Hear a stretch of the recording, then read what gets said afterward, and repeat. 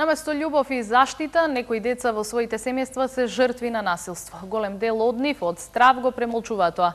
Лани само 27 на СОС бројот за деца и млади пријавиле злоупотреба. Дури за две третини постои сомнеж дека биле сексуално малтретирани од страна на близок или познаник на жртвата, вели извештајот на Меѓаши.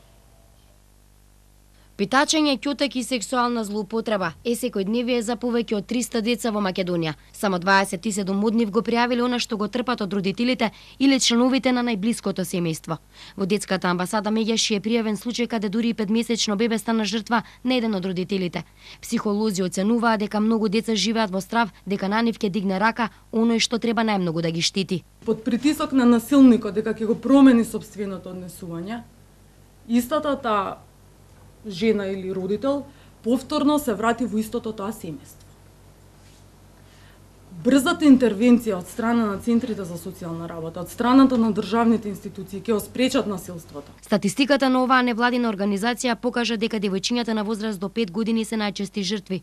111 деца живеат во сиромаштија, на семено насилство се изложени 106, додека 33 се незаштитени или изложени на насилство во училиштата. А за 18 деца постои сомнеш дека биле жртви на сексуална злоупотреба. И она што многу не загрижува е од сите овие случаеви една третина се поврзани со бракоразводна постапка, неутврдено на времено старателство, недмудрување на родителите околу старателството, не давање приоритет на правото на мислење на детето со кој родител има емоционална јака врска. Од друга страна, за разлика од минатата година, зголемен е бројот на деца кои што се охрабриле да пријават злоупотреби на СОС телефонот. Од меѓаши стравуваат дека паралелно со ова ќе се откриваат и повеќе нови случаи на овој криминал. Во минативе години.